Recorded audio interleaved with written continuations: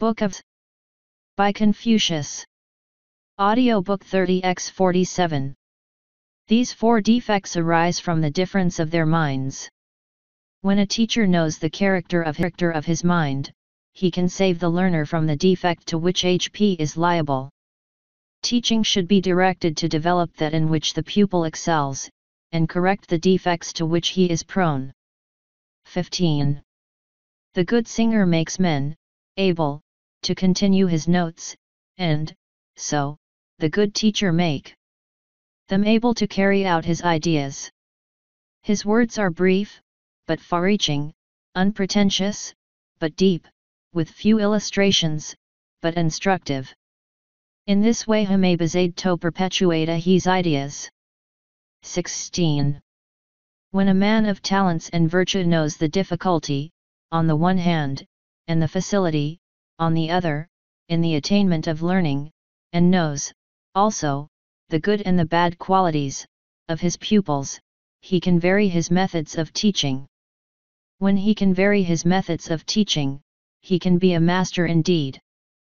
When he can be a teacher indeed, he can be the head, of an official department. When he can be such a head, he can be the ruler, of a state. Hence it is from the teacher indeed, that one learns to be a ruler, and the choice of a teacher demands the greatest care, as it is said in the record, the three kings and the four dynasties whereof they were Bathir teachers. 17. In pursuing the course of learning, the difficulty is in securing the proper reverence for the master. When that is done, the course, which he inculcates, is regarded with honor. When that is done, the people know how to respect learning. Thus it is that there are two among his subjects whom the ruler does not treat as subjects. When one is personating, his ancestor, he does not treat him as such, nor does he treat his master as such.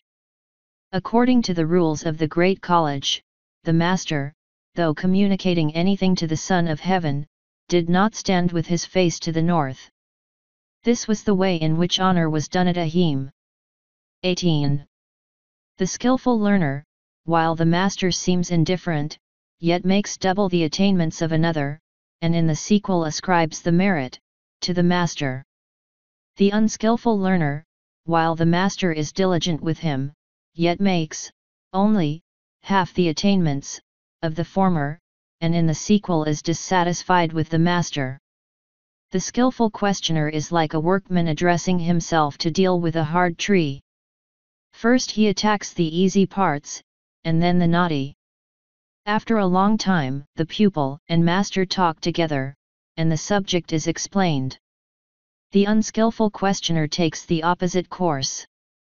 The master who skillfully waits to be questioned, may be compared to a bell when it is struck. Struck with a small hammer, it gives a small sound. Struck with a great one, it gives a great sound but let it be struck leisurely and properly, and it gives out all the sound of which it is capable. He who is not skillful in replying to questions is the opposite of this. This al describes he method of making progress in learning. 19. He who gives, only, the learning supplied by his memory in conversations is not fit to be a master. Is it not necessary that he should hear the questions, of his pupils? Yes, but if they are not able to put questions, he should put subjects before them. If he do so, and then they do not show any knowledge of the subjects he may let them alone. 20. The son of a good founder is sure to learn how to make a fur robe. The son of a good maker of bows is sure to learn how to make a sieve. Those who first yoke a young horse place it behind, with the carriage going on in front of it. The superior man who examines these cases can by them instruct himself in the method of learning. 21. The ancients in prosecuting their learning compared different things and traced the analogies between them. The drum has no special relation to any of the musical notes, but without it they cannot be harmonized. Water has no particular relation to any of the five colors, but without it they cannot be displayed. Learning has no particular relation to any of the five senses, but without it they cannot be regulated. A teacher has no special relation to the five degrees of mourning, but without his help they cannot be worn as they ought to be. 22. A wise man has said, the great virtue need not be confined to one office, great power of method need not be restricted to the production of one article, great truth need not be limited to the confirmation of oaths, great seasonableness accomplishes all things, and each in its proper time. By examining these four cases, we are taught to direct our aims to what is fundamental. Book 17 Yoki or Record of Music Sect Ioni 1. All the modulations of the voice arise from the mind, and the various affections of the mind are produced by things, external to it. The affections thus produced are manifested in the sounds that are uttered. Changes are produced by the way in which those sounds respond to one another, and those changes constitute what we call the modulations of the voice. The combination of those modulated sounds, so as to give pleasure, and the direction in harmony with them Themoft, Shield Sandaxes to and Doft Heplums and Doxtales constitutes what we call music. 2. Music is, thus, the production of the modulations of the voice, and its sources in the affections of the mind as it is influenced by external things. When Themond is moved to a sorrow the sound is harp and fading away, when it is moved to pleasure the sound is slow and gentle, when it is moved to joy, the sound is exclamatory and soon disappears, when it is moved to anger, the sound is coarse and fierce, when it is moved to reverence, the sound is straightforward, with an indication of humility, when it is moved to love, the sound is harmonious and soft. These six peculiarities of sound are not natural, they indicate the impressions produced by external things. On Thais account the ancient kings were watchful in regard to the things by which Themond ways affected. 3. And so, they instituted, ceremonies to direct men's aims aright, music to give harmony to their voices, laws to unify their conduct, and punishments to guard against their tendencies to evil. The end to which ceremonies, music, punishments, and laws conduct is one, they are the instruments by which the minds of the people are assimilated, and good order in government is made to appear. 4. All modulations of the voice spring from the minds of men. When the feelings are moved within, they are manifested in the sounds of the voice, and when those sounds are combined so as to form compositions, we have what are called airs. Hence the airs of an age of good order indicate composure and enjoyment. The airs of an age of disorder indicate dissatisfaction and anger, and its government is perversely bad. The airs of a state going to ruin are expressive of sorrow and, troubled, thought. There is an interaction between words and oft he people, and the character of their government. 5. The note, Kung represents the ruler, Shang, the ministers, Kio, the people, Ki, affairs, and Yu, things. If there be no disorder or irregularity in these five notes, there will be no want of harmony in the state. If Kung be irregular, the air, is wild and broken, the Eula oft state is haughty. If Shang be irregular, the air, is jerky, the fi soft thestatir decayed. If Kio be irregular, the air, expresses anxiety, the people are dissatisfied. If Ki be irregular, the air, expresses sorrow, affairs are strained. If Yu be irregular, the air, is expressive of impending ruin, the resources, of the state, are exhausted. If the five notes are all irregular, and injuriously interfere with one another, they indicate a stato statofinsolent disorder, and the state whereth is this the case will at a distant day meet with extinction and ruin. 6. The airs of Kong and Wei were those of an age of disorder, showing that those states were near such an abandoned condition. The airs near the river Pu, at the mulberry forest, were those of a state going to ruin.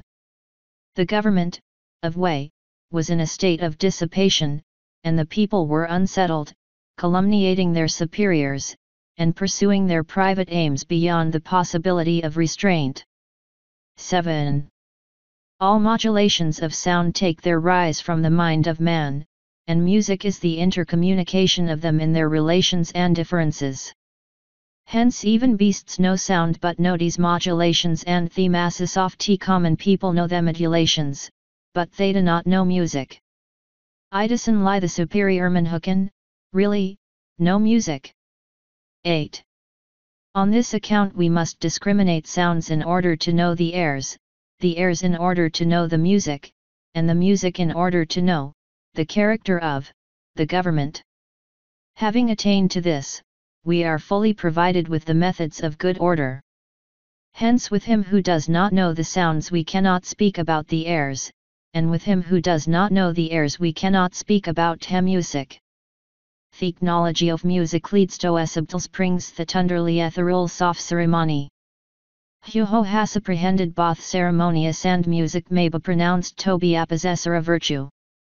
Virtue means realization, in oneself. 9.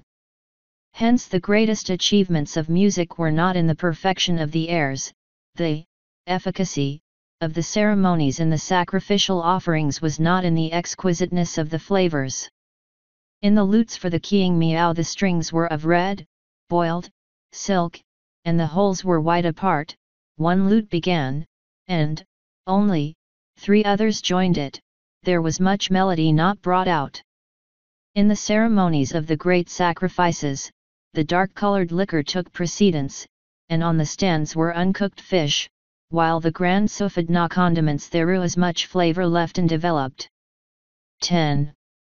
Thus we see that the ancient kings, in their institution of ceremonies and music, did not seek how fully they could satisfy the desires of the appetite and of the ears and eyes, but they intended to teach the people to regulate their likings and dislikings, and to bring them back to the normal course of humanity. 11. It belongs to the nature of man, as from heaven, to be still at his birth. His activity shows itself as he is acted on by external things, and develops the desires incident to his nature. Things come to him more and more, and his knowledge is increased. Then arise the manifestations of liking and disliking. When these are not regulated by anything within, and growing knowledge leads more astray without he cannot come back to himself and these heavenly principles extinguished. 12. Now there is no end of the things by which man is affected, and when his likings and dislikings are not subject to regulation, from within, Hi shanjtin tu thina charif things sas they kami before him, Thetis hestiflus the voice of heavenly principally within, and gives the utmost indulgence to the desires by which men may be possessed. On this we have the rebellious and deceitful heart, with licentious and violent disorder. The strong press upon the weak, the many are cruel to the few, the knowing impose upon the dull, the bold make it bitter for the timid, the diseased are not nursed, the old and young, orphans and solitaries are neglected. Such is the great disorder Thetansus. 13. Therefore the ancient kings, when they instituted their ceremonies and music, regulated them by consideration of the requirements of humanity. By the sackcloth worn for parents, the wailings, and the weepings, they defined the terms of the mourning rites. By the bells, drums, shields, and axes, they introduced harmony into their seasons of rest and enjoyment. By marriage, capping, and the assumption of the hairpin, they maintained the separation that should exist between male and female. By the archery gatherings in the districts, and the feastings at the meetings of princes, they provided for the correct maintenance of friendly intercourse. 14. Ceremonies afforded the defined expression for the affections of the people's minds, music secured the harmonious utterance of their voices, the laws of government were designed to promote the performance, of the ceremonies and music, and punishments, to guard against the violation of them. When ceremonies, music, laws, and punishments had everywhere full course, without irregularity or collision the method of King Lyria Lewis complete. 15. Similarity and union are the aim of music, difference and distinction, that of ceremony. From union comes mutual affection, from difference, mutual respect. Where music prevails, we find a weak coalescence, where ceremony prevails, a tendency to separation. Itis thebacina sof tetuado blend people's feelings sanjaviligancito thyroidward manifestations. 16. Through the perception of right produced by ceremony, came the degrees of the noble and the mean, through the union of culture arising from music, harmony between high and low. By the exhibition of what was to be liked and what was to be disliked, a distinction was made between the worthy and unworthy. When violence was prevented by punishments, and the worthy were raised to rank, the operation of government was made impartial. Then came benevolence in the love, of the people, and righteousness in the correction, of thyrers, and in these way good government held discourse. 17. Music comes from within, and ceremonies from without. Music, coming from within, produces the stillness, of the mind, ceremonies, coming from without, produce the elegancies, of manner. The highest style of music is sure to be distinguished by its ease, the highest style of elegance by its undemonstrativeness. 18.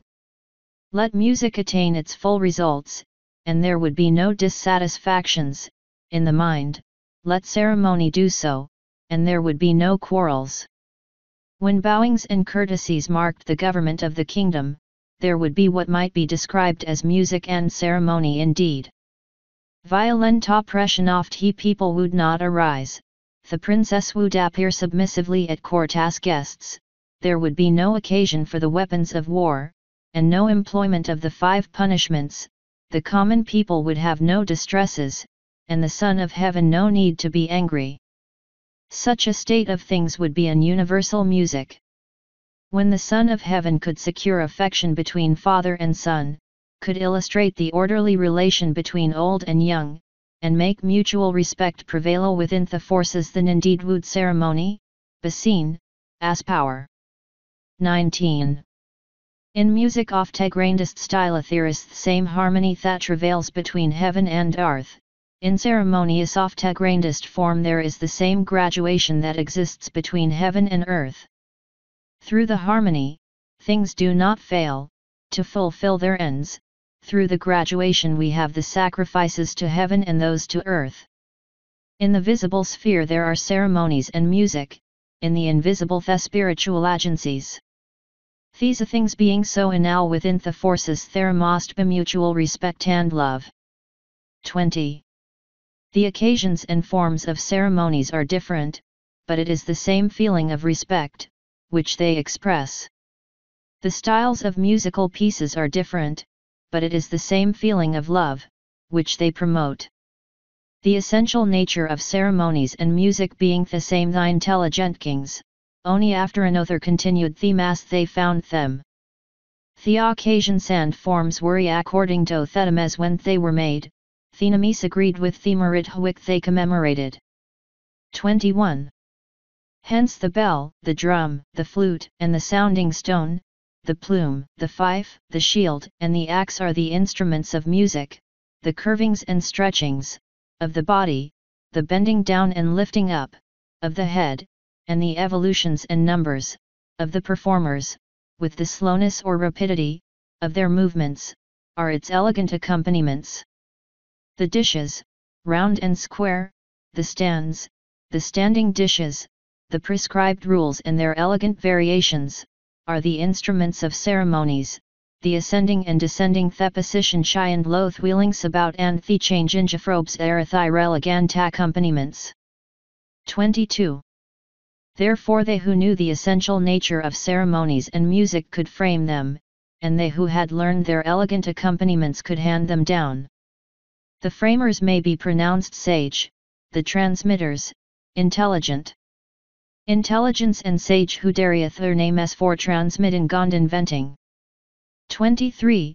Music is, an echo of, the harmony between heaven and earth, ceremonies reflect the orderly distinctions, in the operations of, heaven and earth.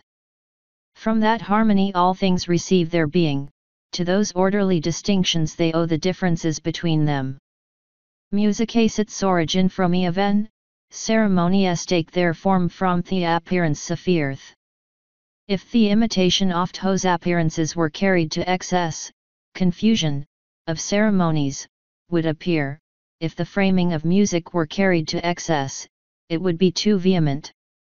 Let there be an intelligent understanding of the nature and interaction of heaven and earth, and there will be the ability to practice well both ceremonious and music. 24. The blending together without any mutual injuriousness, of the sentiments and the airs on the different instruments, forms the essence of music, and the exhilaration of joy and the glow of affection are its business. Exactitude and correctness, without any inflection or deviation, form the substance of ceremonies, while gravity, respectfulness, and a humble consideration are the rules for their discharge. 25. Asto the employment of instruments of metal and stone in connection with these ceremonies and this music, the manifestation of them by the voice and its modulations, the use of them in the ancestral temple, and at the altars to the spirits of the land and grain, and in sacrificing to, the spirits of, the hills and streams, and to the general spiritual agencies, in nature, these are, external demonstrations, natural eventa the people. 26. Whenth, ancient, King Shade accomplished their undertakings they made a their music, to commemorate them, when they had established their government, they framed their ceremonies. The excellence of their music was according to the greatness of their undertakings, and the completeness of their ceremonies was according to the comprehensiveness of their government. The dances with shield sandaxis did not belong to the most excellent music nor did the sacrifices with cooked flesh mark the highest ceremonies. 27. The times of the five tis were different, and therefore they did not each adopt the music of his predecessor. The three kings belonged to differentages and so they did no diach follow the ceremonies of his predecessor. Music carried to an extreme degree leads to sorrow, and coarseness in ceremonies indicates something one-sided. To make the grandest music, which should bring with it no element of sorrow, and frame the completest ceremonies which yet should show no one-sidedness, could be the work only of the great sage. 28. There are heaven above and earth below and between are distributed, various, beings with their different, natures and qualities. In accordance with this proceeded the framing of ceremonies. The influences of, heaven and earth flow forth and never cease, and by their united action, the phenomena of, production and change ensue. In accordance with this music arose. The processes of growth in spring, and of maturing in summer, suggest the idea of benevolence, those of ingathering in autumn and of storing in winter suggest righteousness.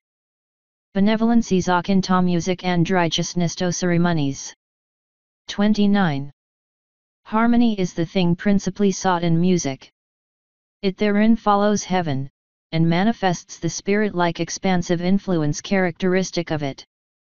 Normal distinction is the thing aimed at in ceremonies they therein follow earth, and exhibit the spirit-like retr active influence characteristic of it.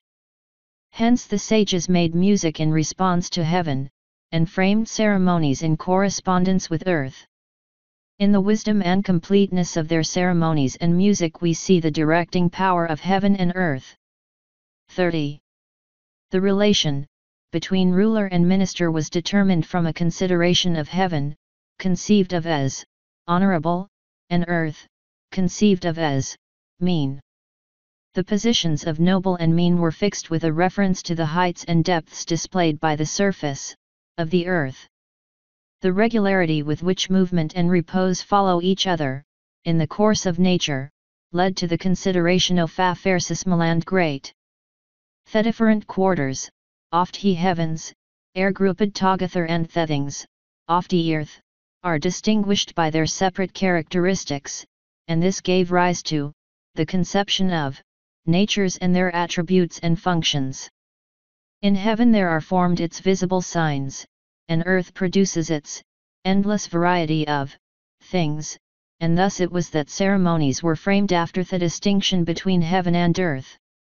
31. The breath, a influence, a fear thas and sun high and that off heaven descends below. These and their repressive and expansive powers come into mutual contact, and heaven and earth act on each other. The susceptibilities of nature, are roused by the thunder, excited by the wind and rain, moved by the four seasons, and warmed by the sun and moon, and all the processes of change and growth vigorously proceed. Thusitwast hat musicwas framed to indicate the harmonious action of heaven and earth. 32. If these processes took place out of season, there would be no vigorous life, and if no distinction were observed between males and females disorder would say and grow. Sukas thanacharift, different quality is of, heaven and earth. 33. When we think of ceremonious and music how the reachto the height of heaven and embrace the earth, how the them the phenomena of retrogression and expansion, and a communication with the spirit-like, operations of nature, we must pronounce their rate he highest their reach the farthest their depth the most profound and their breadth the greatest. 34. Music appeared in the grand beginning, of all things, and ceremonies had their place on the completion of them. Their manifestation, being ceaseless, gives, the idea of, heaven, and again, being motionless, gives, the idea of, earth. Through the movement and repose, off their interaction, come all things between heaven and earth. Hence this sage simply spoke of ceremonious and music. See the Introductorinetus vol. XXVII pages.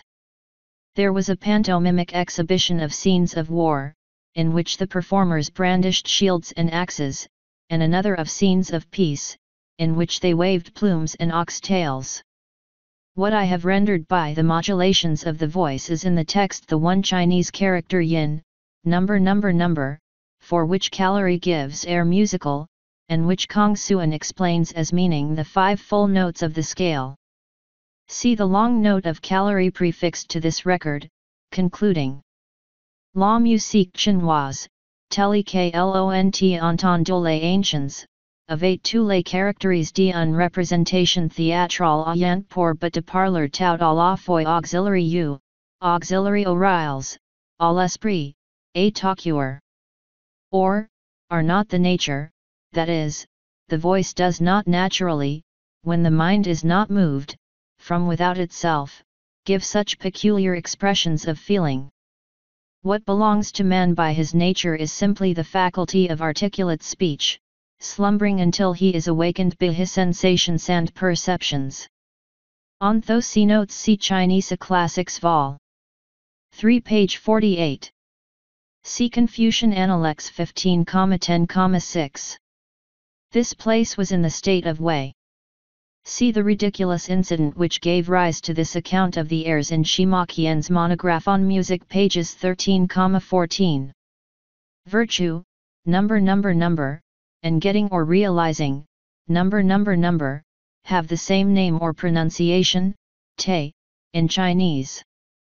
This concluding sentence, as Callery points out, is only a sort of pun on that common name. And yet virtue is the realization in oneself of what is good. The next paragraph expands the writer's thought. The greatest achievement of musician its ancient perfection wastes softening Andre finding oft he character and that oft he service soft he templi was the making men reverent filial and brotherly. With this paragraph ends the first portion of the treatise on music, called Yopan, number number, or Fundamental Principles in Music. The Qian Lung editors divide it into four chapters. The first setting forth that music takes its character as good or bad from the mind of man, as affected by what is external to it, the second, that the character of the external things affecting the mind is determined by government as good or bad, the third, that the ceremonies and music of the ancient kings were designed to regulate the minds of men in their likings and dislikings, and the fourth, that that regulation was in harmony with the will of heaven, as indicated in the nature of man. The five punishments were branding on the forehead, cutting off the nose, other various dismemberments, castration, and death, See Mayer's Chinese Reader's Manual, page 313. But the one-word punishment would sufficiently express the writer's meaning. The eleven paragraphs ending with this form the second chapter of the book, called by Lu Xiang Yolun, number number number, while the third chapter, extending to the end of the section, is called Yoli, number number number, as if the two were an expansion of the statement in the seventh paragraph that muses communication oft hemodulated sound san themen din therelation san differences. As being, I suppose, commemorative of the achievements of war, and not the victories of peace, and as marking a progress of society and a departure from the primitive ireo finiscent simplicity and reverence. On the first of these two paragraphs, p. Callery says. The celebrated encyclopedist, Ma Tuan Lin, Book 181, says that this passage is one oft most marvelous that ever were written, and he draws from it the proof that the work could not have been written later than the Han, because reckoning from that dynasty there did not appear any author capable of conceiving ideas so profound, and expressing them in language so elevated. P. Callery adds, as regards the origin of the Li Qi, the reasoning of the encyclopedist appears to me passably, passablement, false, as to the intrinsic worth of the passage, I leave it to the reader to form his judgment from the translation which he having devoured torrenderous faithful as possible. In the passage of Ma Tuan Lin, however, that author is simply quoting the words of Ku Shi, Ta Quan, Book 37, and expresses new opinion of his own. Section I 1. Anciently, Shun made the lute with five strings, and used it in singing the Nan Fang. Kuei was the first who composed, the pieces of, music to be employed by the feudal lords as an expression of, the royal, approbation of them. 2. Thus the employment of music by the Son of Heaven was intended to reward the most virtuous among the feudal lords. When their virtue was very great, and their instructions were honored, and all the cereals ripened in their season, then they were rewarded by, being permitted, the use of the music. Hence, those of them whose toils in the government of the people were conspicuous, had their rows of pantomimes extended far, and those of them who had been indifferent to the government of the people had those rows made short.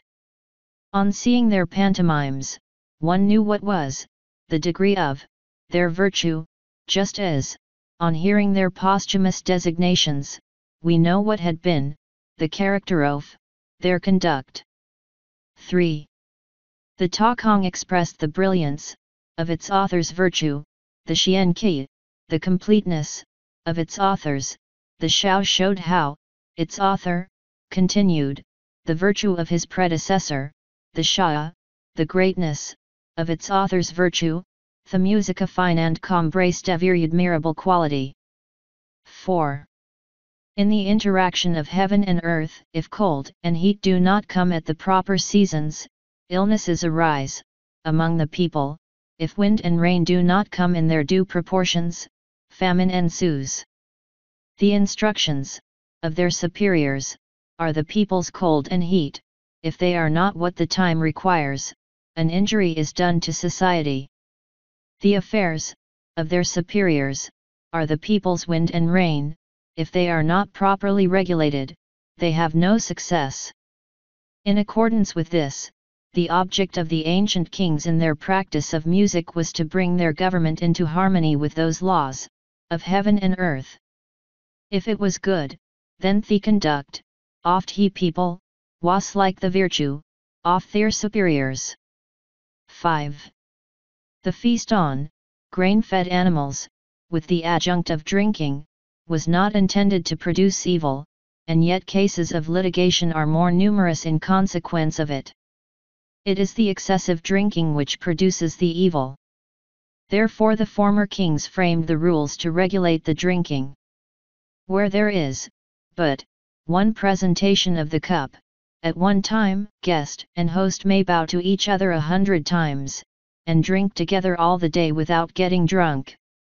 This was the way in which those kings provided against evil consequences. Such feasts served for the enjoyment of the parties at them. The music was intended to illustrate virtue, Thesaurimunia story strain excess. 6. Hence the former kings, on occasions of great sorrow, had their rules according to which they expressed their grief, and on occasions of great happiness, they had their rules by which they expressed their pleasure. The manifestations, whether of grief or joy, were all bounded by the limits of these rules. 7.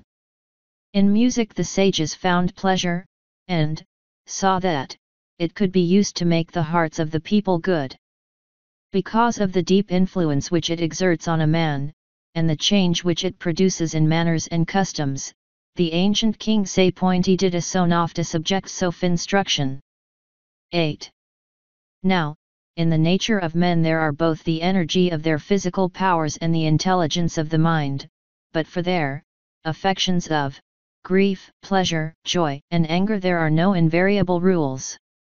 They are moved according to the external objects which excite them, and then there ensues the manifestation oft he various faculties oft emend.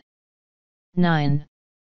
Audio book generated by, read with the ears.